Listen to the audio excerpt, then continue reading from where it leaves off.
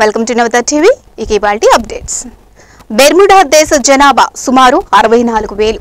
ఉత్తర Atlantic మహాసముద్రంలో United Kingdom పర్యవేక్షణలో ఉన్న అతి చిన్న దేశం. అక్కడి ప్రజలు మంగళవారం పెద్ద ఎత్తున సంబరాల్లో మునిగి తేలారు. దానికి కారణం ఫ్లోరా డఫీ ఇంతకీ ఈ ఫ్లోరా ఫోటోగ్రఫీ ఎవరు? దేశ ప్రజల సంతోషానికి ఆమెకు కారణం ఏంటని ఆలోచిస్తున్నారా?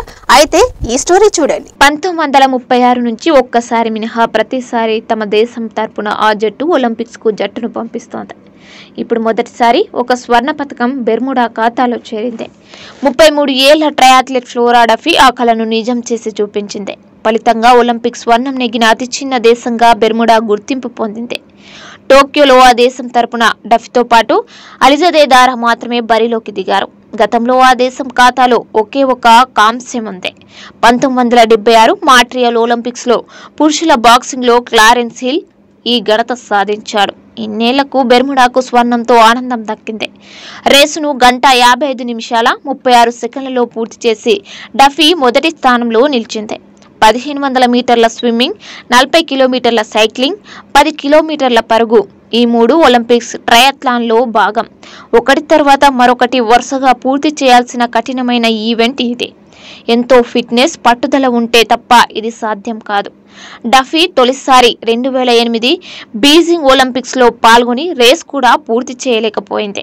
రెండు వేల పన్నెండు లండన్ ఒలింపిక్స్లో నలభై ఐదవ స్థానంలో నిలిచింది. దీనికి తోడు కెరీర్లో వరుస గాయాలు ఒక దశలో ఒకదాని వెంట మరొకటి దాదాపు పది రకాల భిన్నమైన గాయాలతో ఆమె బాధపడింది. వీటికి తోడు ఎనీమియా బారిన కూడా పడింది.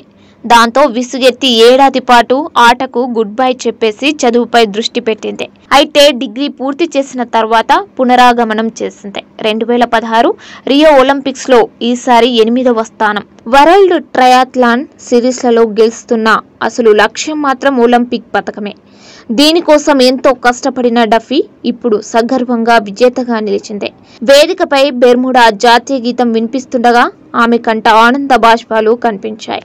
ఈ వీడియో మీకు నచ్చినట్లయితే లైక్ చేయండి షేర్ చేయండి సబ్స్క్రైబ్ చేయండి. పక్కనే ఉన్న బెల్ బటన్ని క్లిక్ చేయడం మాత్రం మర్చిపోకండి.